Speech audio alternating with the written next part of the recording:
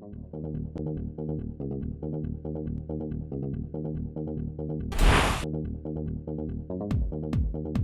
you.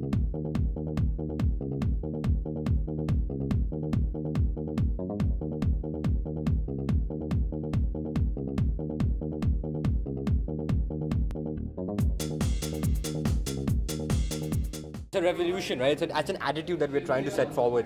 The clothes, our whole, the whole thing which is written on our clothes is something which is, which is trying to bring in that attitude in the youth. It might be naughty, it might be very bold, it might be something that people might not even like. But it's an attitude, and we believe in it, and that's why Loot and Yash Raj have signed on a contract not only for first film, but for many other films to come to support both our merchandise and us stars. Like it's something I just go pick something up, put it on, and if I'm comfortable in it, I'm confident. I'm a confident man.